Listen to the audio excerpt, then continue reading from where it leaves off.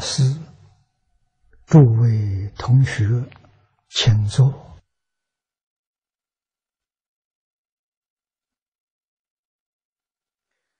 请看《大经科注》第四百二十一页啊，四百二十一页第四行看起啊，科判顶六，愿是所依啊，分三段啊，第一段文读法院。请看经文：二是法藏文佛所说，见悉读见，发起无上殊胜之愿。我们看念老的注解。啊，读也是见的意思啊。真解里面说，读在眼见，见呢是慧见，相宗讲八十，每一个十呢都有四分，啊，有自证分，正自证分。见分，相分，啊，都有四分。那么眼见称为度，啊，会见呢就是见分见，啊，见分是推求、照察的意思，推求就是分别，啊，它有这个意思在。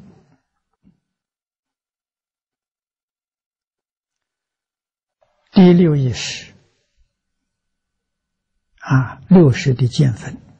分别，七识的见分执着啊。虽然两个意思都有，但有偏重不一样啊。第六意识分别的意思多，执着少；莫那识的见分执着多啊，分别少啊。起作用啊，要同时起作用啊，这是反复。下面引贞节啊，这是日本古时候的晋宗大德啊，他有《无量寿经》的注解啊，注解的名字称为真解。说。读则眼见，见则慧见。如见分见呢，取求取推求找差异。该位呢，读是指眼见，见呢是指慧见。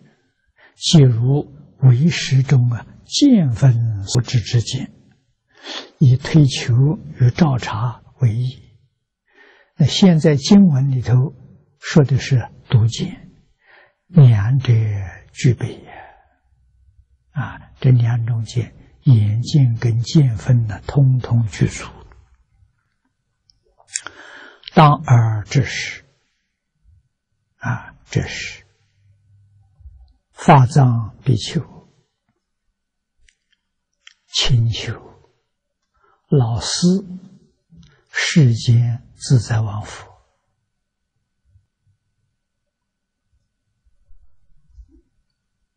啊，为他演说跟展示二百一十亿诸佛插图。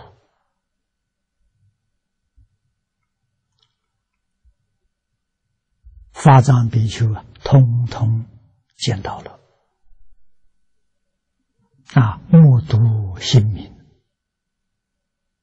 啊，清清楚楚、明明白白。二百一十亿不是数目字，是表法的，代表的圆满啊。密宗以二十亿代表圆满，二百一十亿呢，那就是大圆满，取这个意思。换一句话说，过去、现在、未来，十方诸佛刹土，他通通都见到了。啊，未来还没有到，怎么会见到？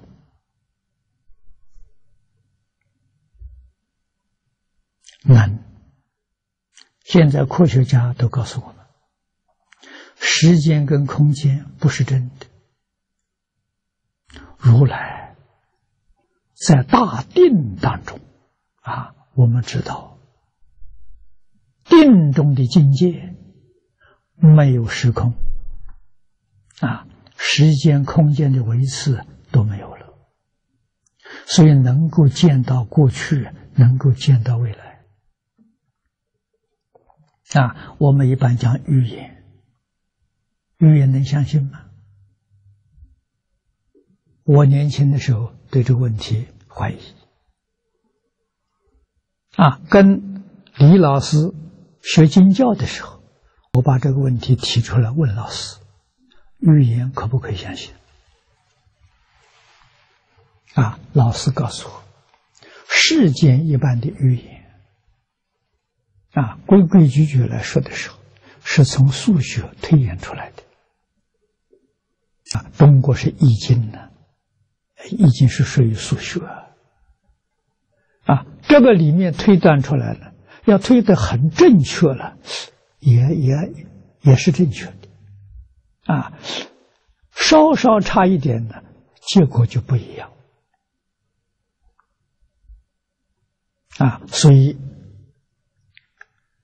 确实啊是有人存疑，但是定中见到境界呢，它是限量境界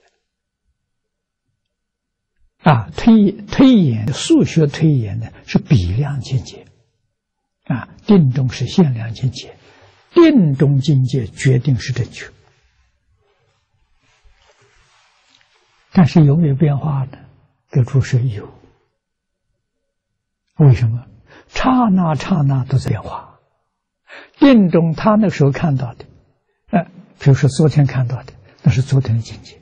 那今天今天变了，那他看今天的时候也能看到，啊，看到这变化，啊，怎么变的？随着人的念头变的，这就是一切法从心想生，这千变万化了。我们读贤首过世的《还原观》，就讲得很清楚。啊，我们起心动念呢，周边法界，念头才动，无论是善念是恶念，啊，变法界虚空界。这个信息呀，都传遍了。有功夫的人，有定功的人，没有一个不知道。鬼神也知道，鬼神知道的范围不大啊，因为他的定功啊很小啊，但是比人高多了。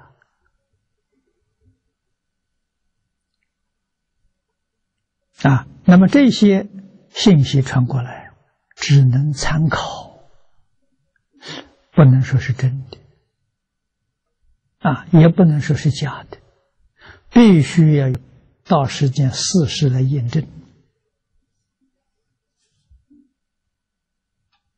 啊，那么二零一二年十二月二十一号，这个是玛雅的预言。啊，这是世界上人都承认，玛雅这个族群人非常聪明。啊，他们不是靠定功，他们是数学推出来的，推演出来的。啊，这一个族群，古代在天文里面可以说是，呃，地球上这个族群呢，它应该是第一。啊，他的这个列法几千年推得非常正确啊，这个是令人佩服的啊。那么他这个常例呢，到十二月二十一号就没有了，后面就没有了，没有了，并不代表世界末日。代表什么呢？代表这是个大的循环，到这为止。那第二天呢，有一个新的开始啊，就好像一年这腊月三十啊，这一年没有了。明年呢？明年是第二年的大年初一啊，是这个意思。但是这个转移当中呢？啊，当然可能有变化，啊，变化呢全在人心，啊，这个我们对佛法要有坚定的信心，啊，佛告诉我们，宇宙之间所有的现象都是心现识变的，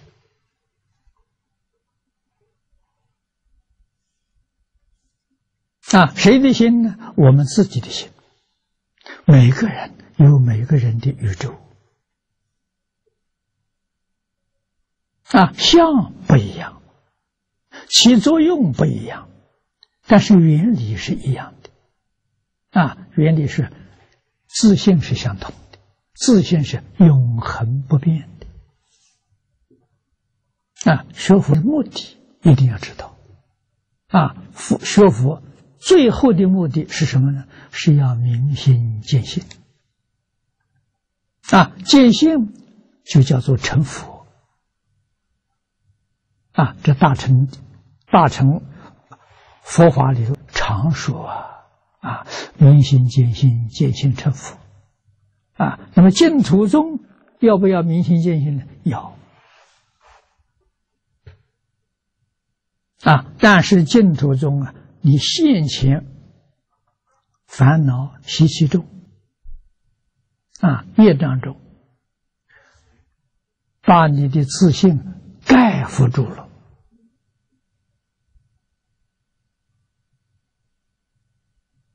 你迷了，迷失了自信，所以自信不起作用，起作用的是什么呢？是烦恼，是习气，这个东西起作用。啊，所以生活的很辛苦啊！啊，佛帮助我们破迷起信啊，对佛法有信心，最重要对自己有信心啊，然后再相信佛。欧耶大师告诉我们，《弥陀经要解》里头讲信念心。啊，信他讲了六种。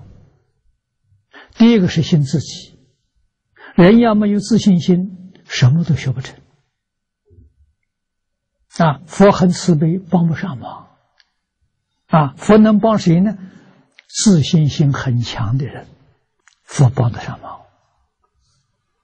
那我们要想成佛，哦，那要坚强的自信心，一定相信自己。本来是佛，这个话释迦牟尼佛在华严经上讲的。一切众生本来是佛啊，又受苦一切众生皆有如来智慧德相啊。佛在华严上讲的，这一点不错，我们相不相信？啊，《观无量寿佛经》上。讲净土的原理啊，理论的依据，佛只说八个字：是心是佛，是心作佛。啊，这两句话要不相信啊，我们往生有障碍，也成不了佛。这两句话非常重要。啊，是心是佛，是心作佛，是心是佛，我们本来是佛。是心作佛呢，那就是念佛成佛。啊，我们念佛的目的，第一个是到极乐世界。啊，那等于是个中途站一样，我们到那里，到极乐世界干什么？到极乐世界去成佛，这个要知道啊，那是我们自己自家的事情啊，啊，阿弥陀佛给我们做正上缘，要晓得清音缘、所缘缘、无见缘都是属于自己的。啊！阿弥陀佛，诸佛菩萨给我们做增上缘，我们的信心越强，力量就越大。啊，佛菩萨加持能加得上啊！啊，我们的信心不强呢，他加的力量就很微薄，就不强。啊，所以福力加持跟我们自己的信心呢。恰好成正比例。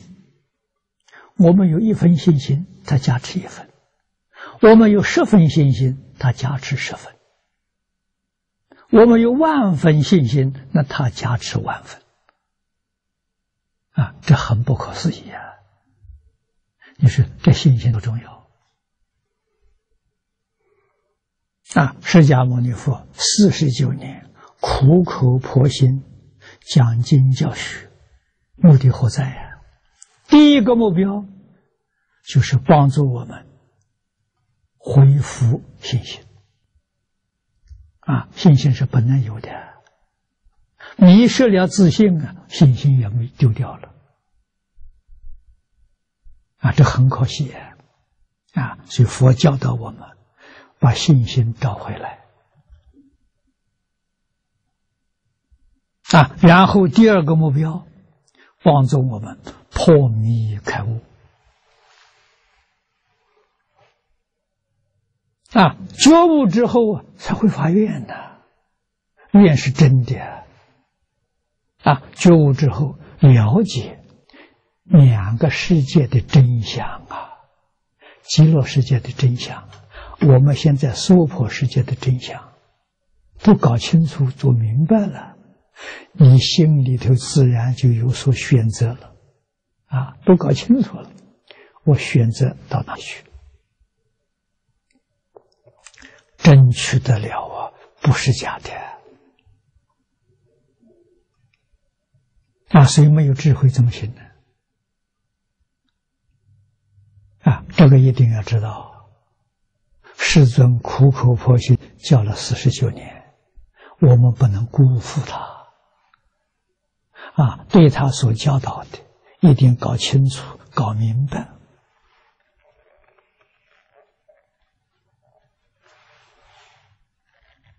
啊，然后在他四十九年所教的这些法门，啊，所谓的八万四千法门，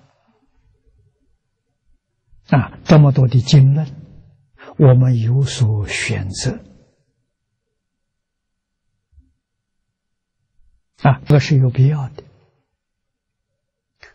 娑婆世界的众生，现在是处于紧急。啊，释迦牟尼佛出现的时候，人的寿命，一般人一百岁。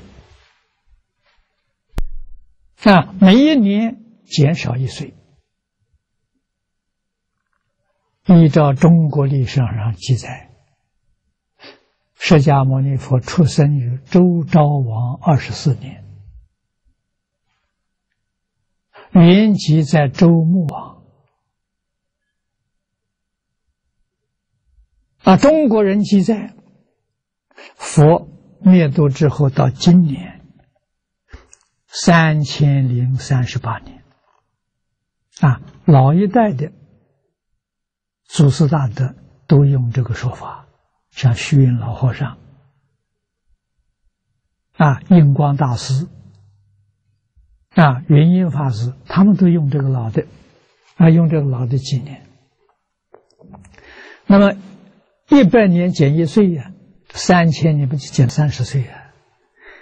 现在人平均寿命是七十岁啊人生七十古来稀啊，有寿命长的，那是他自己修持有功德。啊，或者他修的有福德。啊，都会都可能延长寿命。啊。所以寿命虽然是业报是有一定的，但是可以加减乘除啊。恶业造多了，寿命就缩短了。啊，好事做多了，寿命就延长了。啊，你看《了凡四训》里头讲的很清楚啊。啊，了凡先生，那个孔先生给他算命，他的寿命是五十三岁。啊，他活到七十四岁才走，多活了二十一年。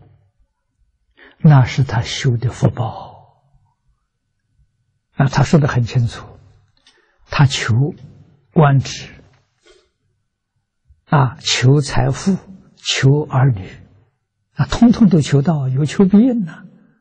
没有求寿命啊，寿命自然延长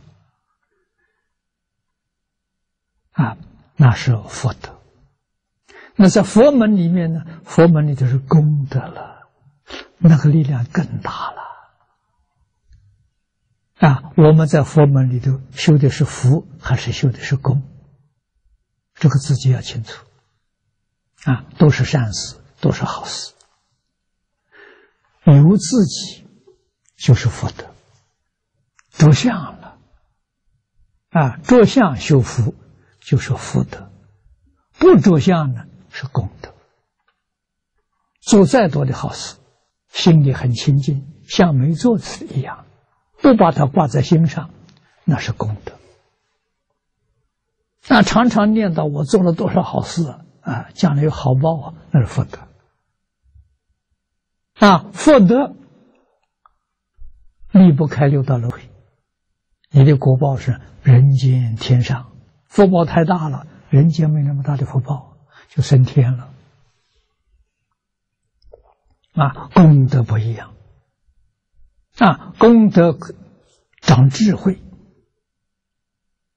啊，帮助你呀，出超越六道轮回，超越十法界。啊，所以佛法重视功德了。福德虽然讲啊，但是他重视功德。啊，人。要为苦难众生着想。你看阿弥陀佛在因地里出家做比丘，念念都是为十方世界诸佛刹土里面的六道众生。六道众生太苦了，怎么样帮助他离苦得乐？怎么样帮助他修行正果？他没有别的念头啊，只有这么个念头啊。所以念念是功德，行行是功德啊。他不为自己嘛，啊，真的是为正法救助啊，为度一切众生啊。这些呢，都是我们要学习的。啊，不为自己，为什么呢？没有自己啊！你执着有个自己，你就出不了六道轮回。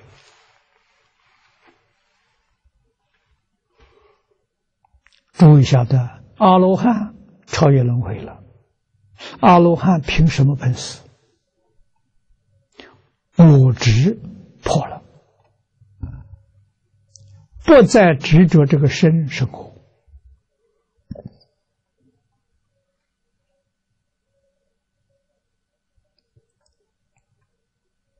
什么地位破了身界呢？给诸位说，小乘须陀洹呐，粗果啊，粗果身界就破了。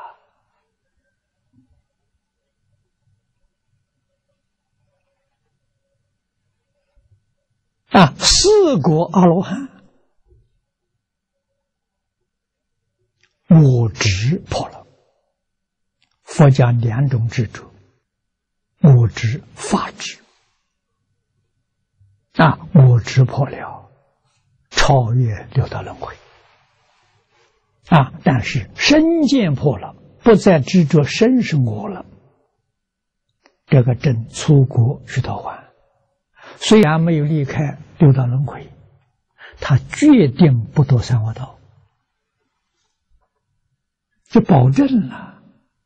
而且在六道里头，天上人间只有七次往返，他一定证阿罗汉果，他就出去了。啊，所以出国我们称他圣人呐，啊，小圣呐。这最起码的小圣啊！不再搞六道了，不再搞这个三恶道了啊！经教里像这些地方，我们不能不学习啊！如何把身见放下呢？念念的想着众生。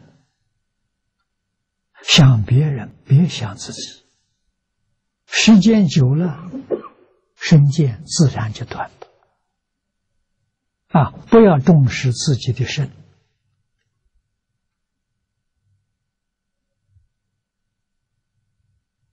啊，这个身体对我们现前来讲有用，是个假的东西，借假修真。啊，一定要提升自己的灵性。啊，身是烦恼的源头，先把这个东西放下，以后断烦恼就容易了。身不放下的烦恼是无从断起，是根在呀。啊，先把根除掉，啊，慢慢再把这些烦恼啊放下。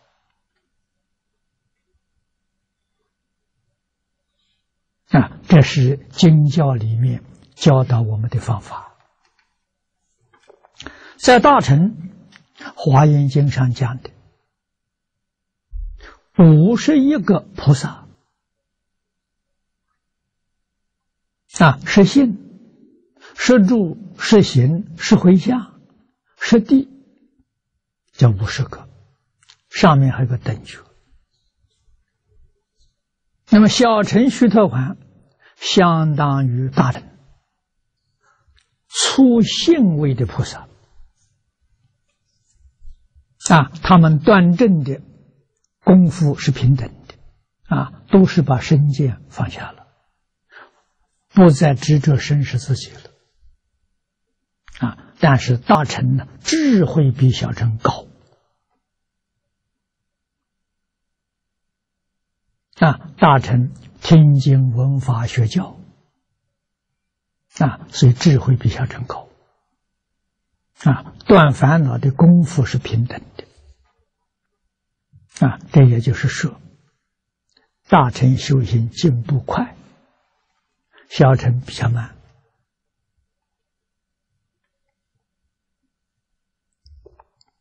啊，我们对这些。佛法的一些基础的常识要认识清楚，对我们会很有帮助。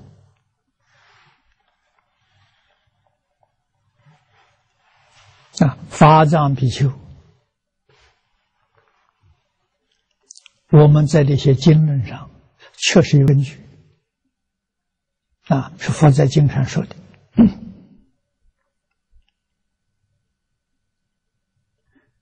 应该说，他早已经成佛了。他是道家慈航啊，应化在西方极乐世界。啊，建立极乐国度。啊，他不是为自己，是为了戒引一切众生。啊，它的范围很大，上面从等觉菩萨，下面从无间地狱的众生，他通通接引啊，到极乐世界圆满菩提啊，在极乐世界证得究竟的果位。全为众生，没为自己啊！释迦牟尼佛当年出现在这个世界，啊，一生，他给我们表演的那些表演，都得要学习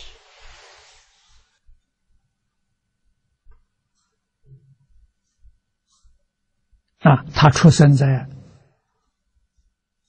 过王的家庭，身份是太子，都是继承王位的。啊，十九岁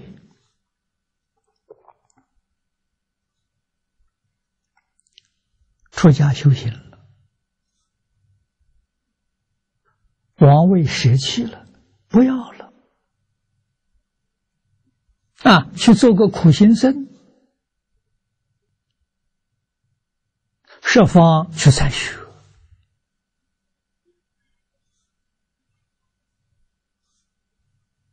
啊！印度在那个时候是宗教之国，也是哲学之国啊！印度学派几乎都是非常高深的哲学家啊！他去参访去学习。学了十二年，啊，印度人，古印度人非常重视禅定。佛经里面所讲的四禅八定，是婆罗门教的，啊，释迦牟尼佛通通用上了，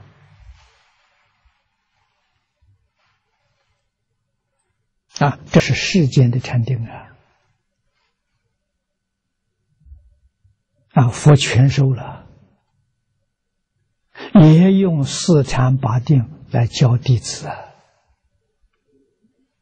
啊，你能得四禅八定，六道里的事情你就很清楚。为什么？你通通见到了。禅定里头没有空间维次啊，这个境界是真的，不是假的，限量境界。啊！你看到二十八层天，你看到无间地狱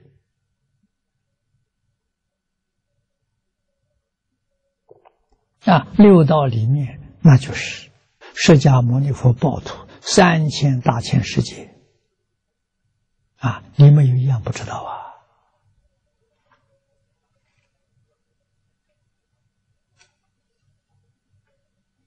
啊，那么我们相信，释迦牟尼佛四禅八定一定学得很出色。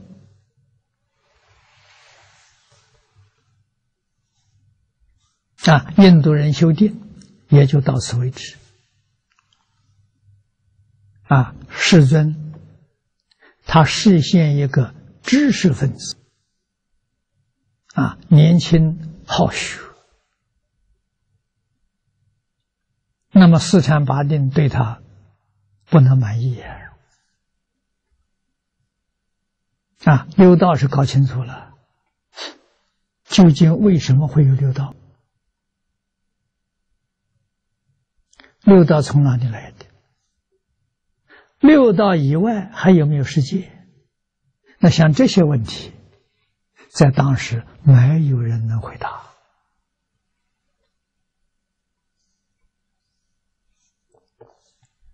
啊，所以佛知道啊，那个不究竟的，于是放弃参学了，学了十二年呢，放弃了，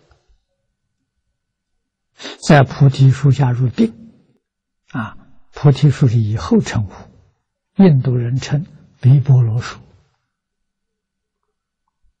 啊，他在这个树下实现大彻大悟、明心见性，啊，所以以后称这个树叫菩提树。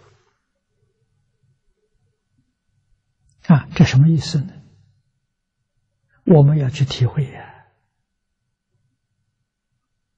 十九岁离开家，放下烦恼障；三十岁放下求学了，是放下所智障，是不是这样的？菩提树下。这入定成功了，入更深的禅定，明心见性，叫大彻大悟啊！这个就是一般讲成佛了啊！成佛之后就开始教学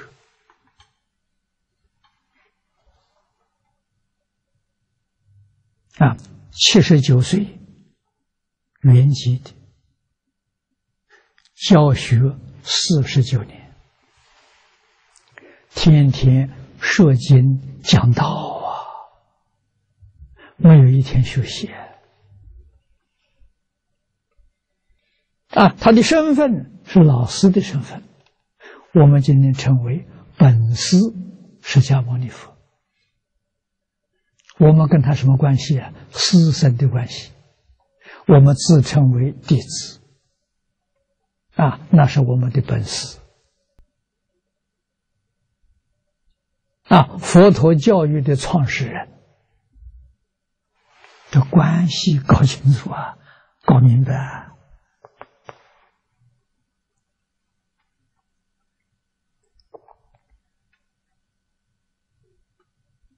啊，你从他一生的行仪来看。他是一个教育家，啊，是一个多元文化社会教育家，有道德，有学问，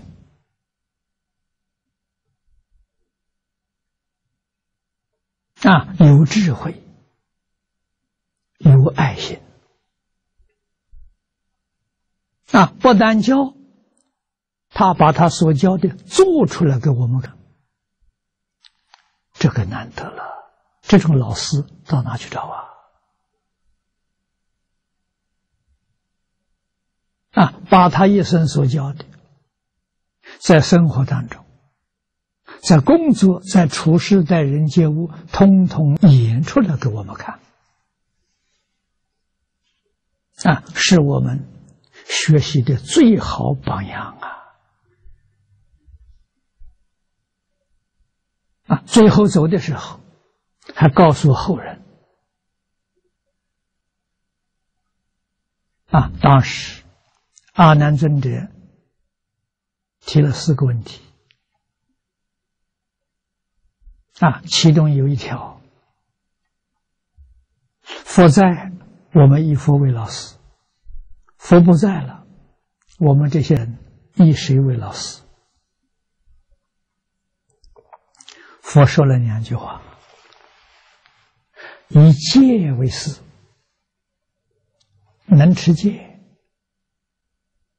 啊，对佛的教戒认真去奉行，等于佛在世，佛没离开你。第二句话：以苦为师，生活苦一点好，啊，为什么呢？对这个世间没有留恋，你才真的放得下。如果贪图享受，麻烦大了，你的烦恼都起来了。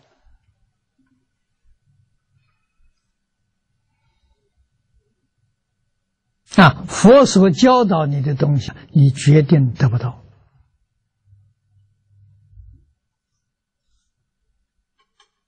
很有道理啊。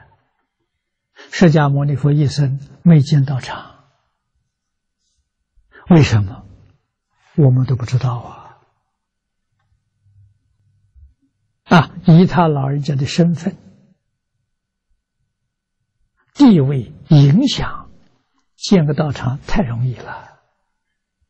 啊，当时在家皈依弟子有十六大国王，谁都能建个道场给他供养他，他不要啊！啊，国王的花园别墅，啊，大臣的大夫长者的皈依他的人太多了。啊，请他去讲经，他也接受，但是他不要。你看，七书节孤独院、竹林精舍，啊，这都是我们大家都熟知的佛在那讲经。用现在的话说，佛要使用权，不要所有权。讲完了走了，还给你，有好处。啊，这些弟子们呢？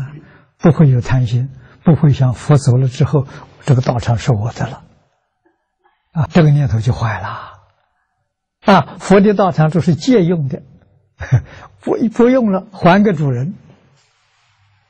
所以弟子们心都在道上啊，没有妄想啊，这是正确的。佛教传到中国来，虽然有寺院庵堂，但是要晓得，那个时候道场是国家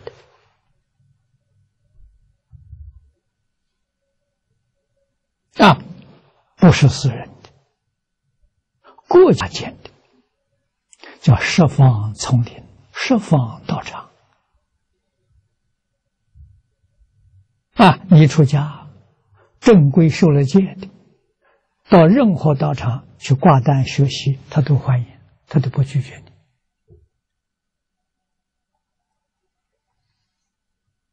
啊，不像现在呀，现在道场要看人情啊，他喜欢就接待你，不喜欢就不接受啊，一餐饭都不给你吃啊，跟从前不一样了。所以我们知道，释迦牟尼佛一生不见道场，这个用意多深。啊，佛是真正帮助你成道啊，不帮助你作恶，不帮助你堕落，啊，把这些语言通通给你断掉。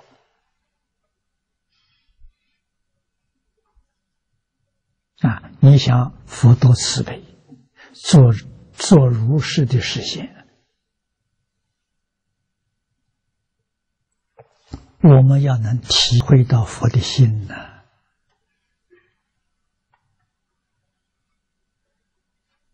啊，在这个时代，印光大师了不起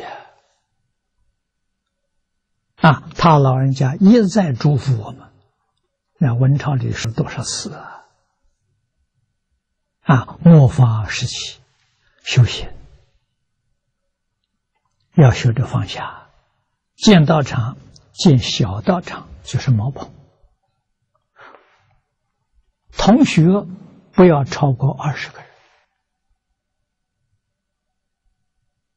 真正志同道合。要学我们净土宗啊，要学慧远大师啊，这是我们中国净土宗的初祖啊。你看他老人家当年。在庐山建一个念佛堂，东林念佛堂啊，志同道合的一百二十三个人，大家真正发愿，我们一起在这念佛求生净土啊！道场以虎溪为界，不越过这个界限。一百二十三个，通通往生，这还得了吗？大圆满呐！啊，那个时候净土的经论只有一部《无量寿经》，观经跟阿弥陀经没有翻出来。我们想想，应该是传到中国，翻译没有完成，所以。圆工大师只是一无量寿经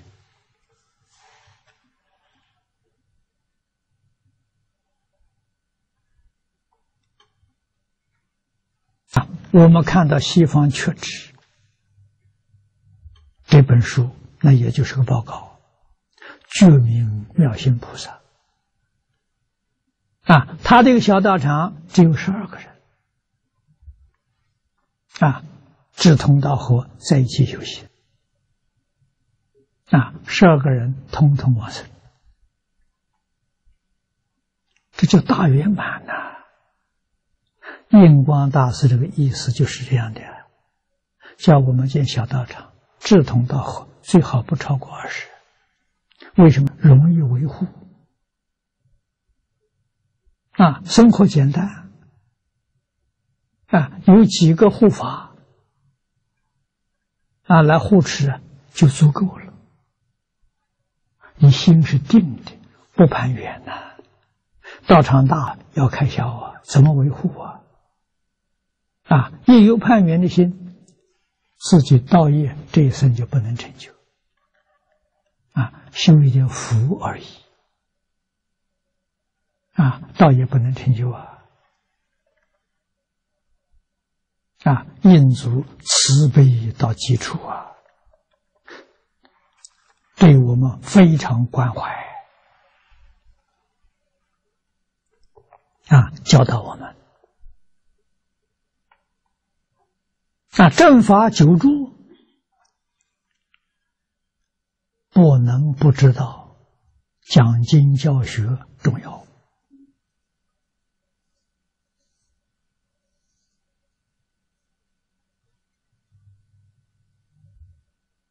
啊，讲经尤其要好好的听经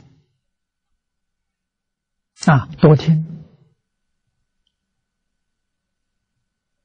各宗各派都搞清楚了，搞明白了，我专门选一样自己喜欢的，一门深入，长时熏修，这才能成就啊。啊，否则的话，你的一生，你学的很多，学的很杂，心力分散，啊，时间也分散了，啊，所以是样样都通，样样松，啊，没有一样啊，你专精啊，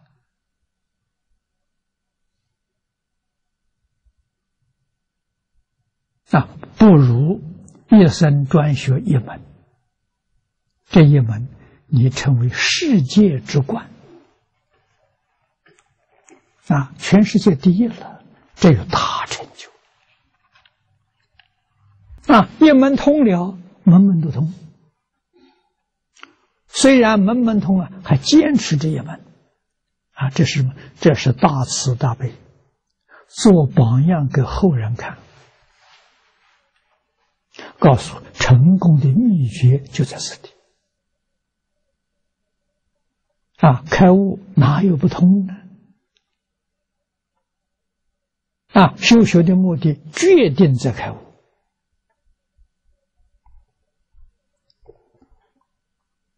啊，不是别的，悟后起修啊！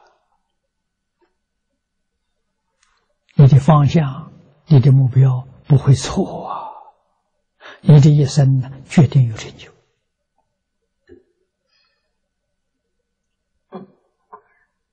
啊，念佛往生净土，上品上生呐！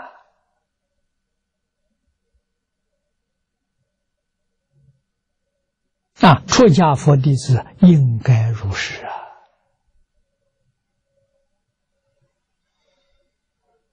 啊，最难得的。我们能得到这个会集本，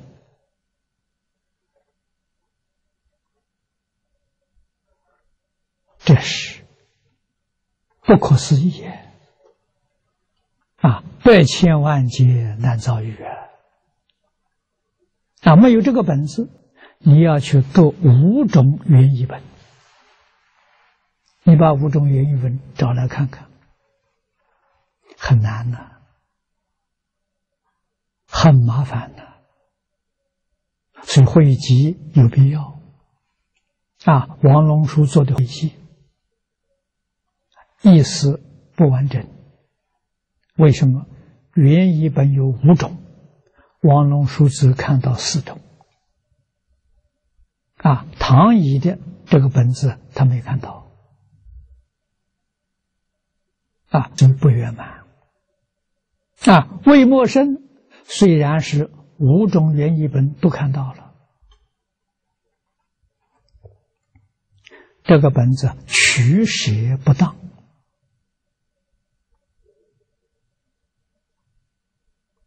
啊，很多重要的经文呢，他漏掉了。应该取的，他收获了，所以不能称为善本。他的本子比王龙书的本子好，这是真的。啊，但是五种原译本里的精华依然不是完全去除。啊，所以到民国年间，夏联居老居士做第三次的会议。才把过去这个本子的缺失统统补过来了，字字句句都有根据，啊，都用的是原译本的文字，啊，这个是汇集必须要遵守的规矩，不能自己用自己的意思把字换掉了，不可以，啊，一定要用原译本的原文。啊，这个注解里头，黄念祖居士都把每一句经文出在哪一部经上，啊，都给都给我们写出来了，啊，告诉字字句句是有根据的，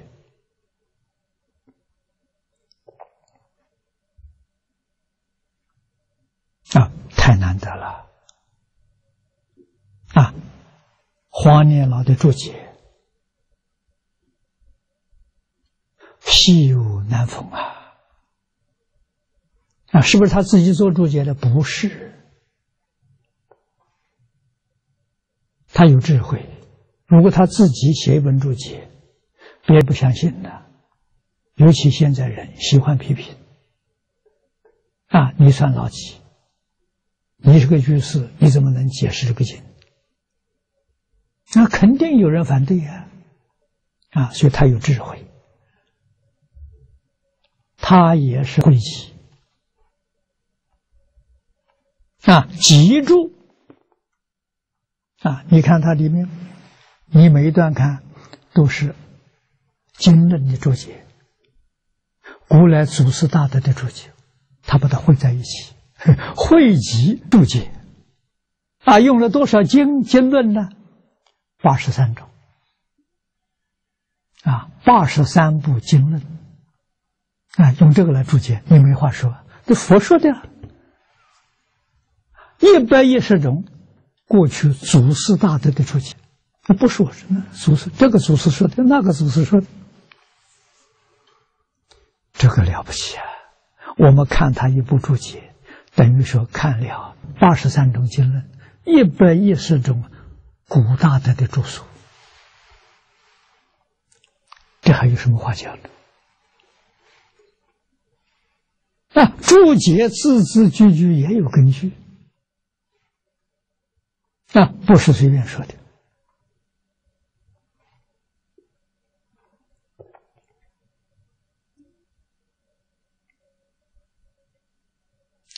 用心良苦啊，我们要能体会到啊。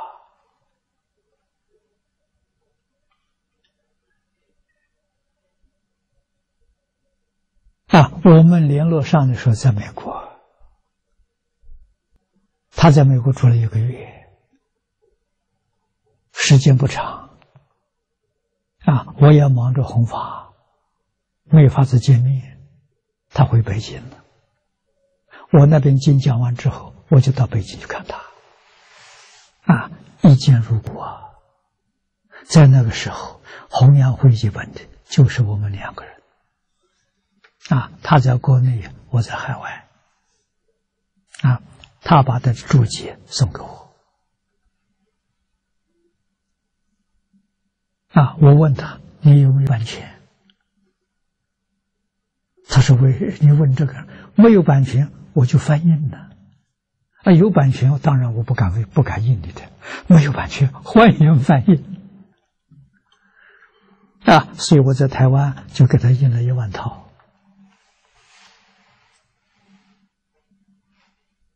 啊，非常欢喜。啊。”他能够收集这么多的资料，啊，我就看他住他住的房间，只有我们摄影棚一半大，就是什么一半大，摆一张床，一张小桌子，另外堆的就是书。我看了之后叹为观止，这书你从哪里来的？呀？你怎么会找的这么齐全呢？三宝加持，不是人能找到的，啊，找到这么多的好字、好材料，他日夜不断的去看呐，啊，里面哪一些可以解释《无量寿经》经文的，都把它挑出来，啊，编成这一套注解，有智慧。啊，这师徒二人了不起的人，啊，夏莲居跟夏莲是他的老师，啊，他们到这个世间来就是干这桩事情，这桩事情干圆满了，他就离开了。啊，当年慈州法师有这个有这部经的刻判。他把慈州法师刻判送给我，啊，我也怕失传，印在这个原本上，啊，这是汇集最初的版本版本，里面一共分三十七品，啊，应该过去的想法是三十七道品，分三十七品，慈州法师当时。讲这部经的话，就用这个本子啊，所以我的刻盘印在前面，有的做纪念。我做的这个刻盘是以慈州法师的刻盘做底本啊，再把它详细分刻啊。这个刻盘完成之后，我送给赵婆老，婆老看了欢喜。啊，《无量寿经》汇集本的经圆满了，黄念老的注解圆满了，我们这个课判加上课判，啊，真是无量的欢喜呐！啊，这部经啊，可以流传于后世了，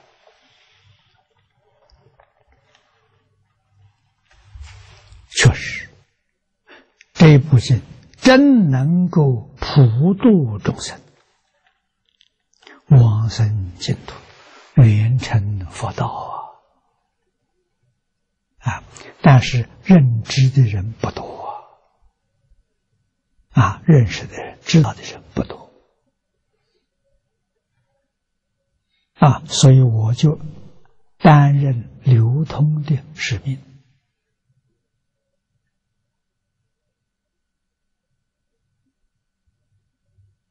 啊，在过去我没有看到这个本子，没有看到这个注解。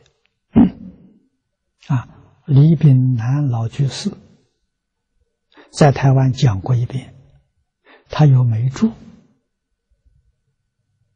啊，这个本子老师给我了。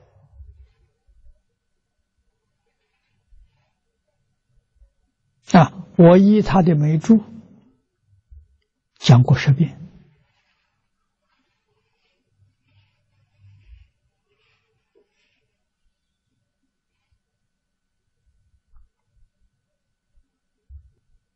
啊，那么看到这个念老注解之后，他住的太好了啊！所以我在前年清明节，我把《华严经》暂停了，发行讲这个注解，净土。大经节演义，去年九月十八圆满，一共讲了一千两百个小时。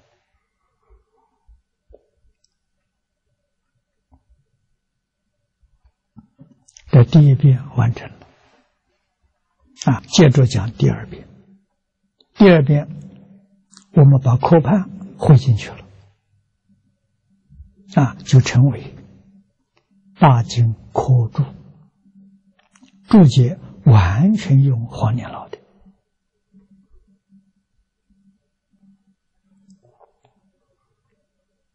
啊。将来我再找时间，把重新再整理一下，变成一个完善的本子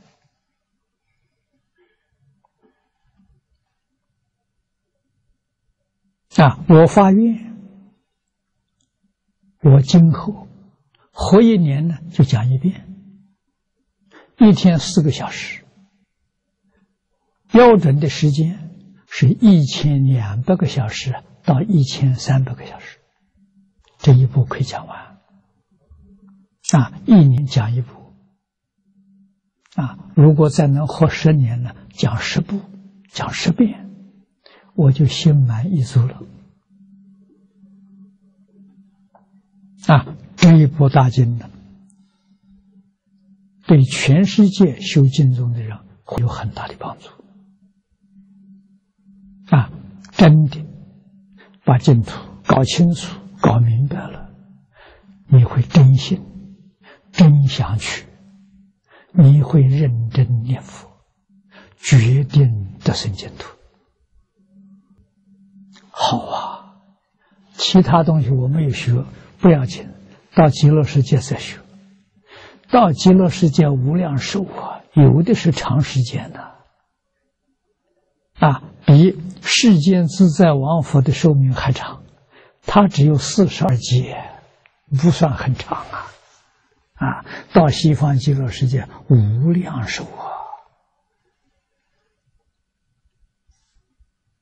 啊！啊，十方三世一切诸佛如来。所说的经教啊，到极乐世界通通可以完成啊！所以在此地呢，我就万缘放下啊，连佛法也放下，专修这一部经啊，专讲这一部经，专修这个法门，给大家做个好样子啊！一门深入，长时熏修。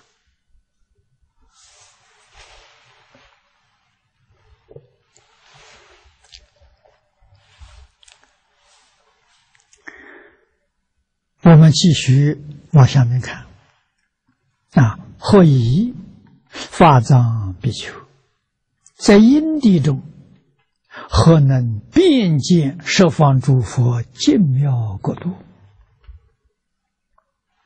啊，这是假设提出一个问题，或者有人怀疑，有人要问，啊，答曰：你看看法集经云，这是引经啊。这不是黄念老自己说的啊，《法集经》上说，菩萨摩诃萨得彼佛如来天眼啊，得佛加持啊。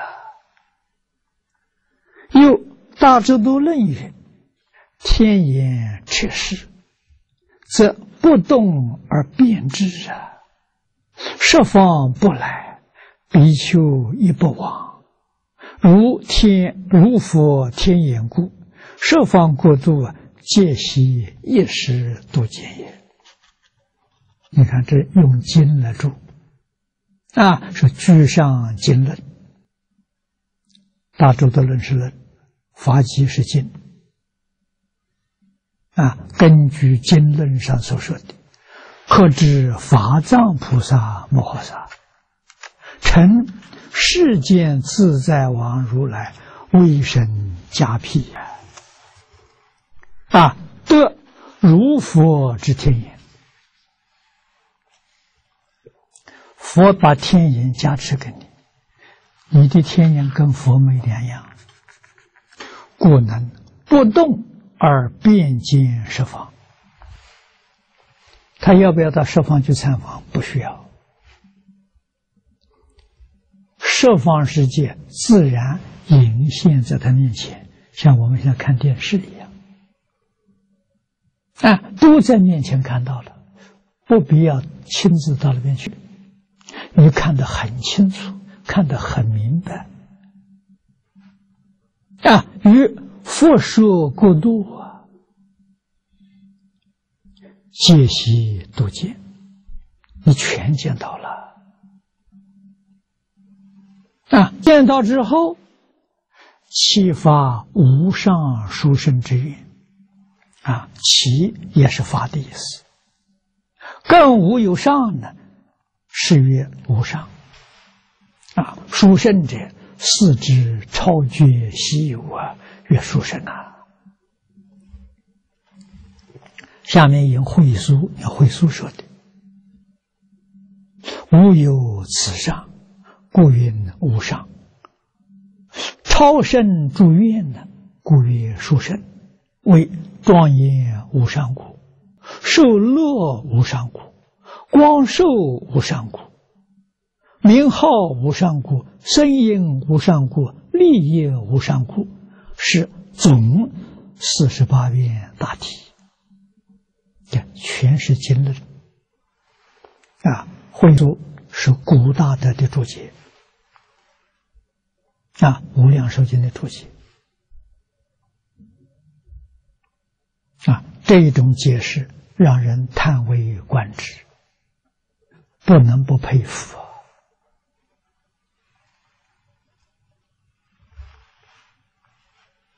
啊，啊会说这是是《无量寿经》的注解的名称呢，这是日本祖师做的。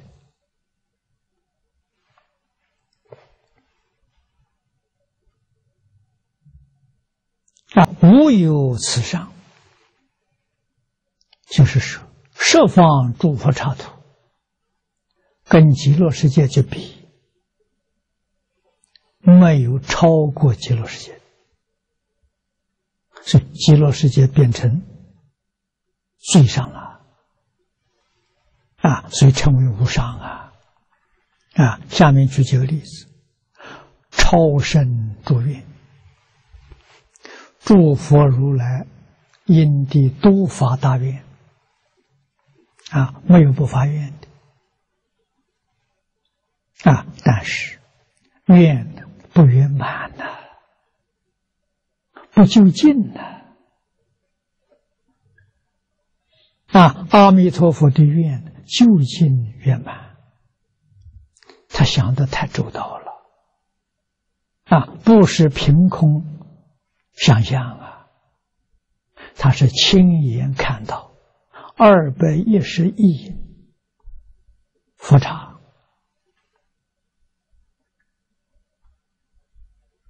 啊，等于说。他去参观，他去考察，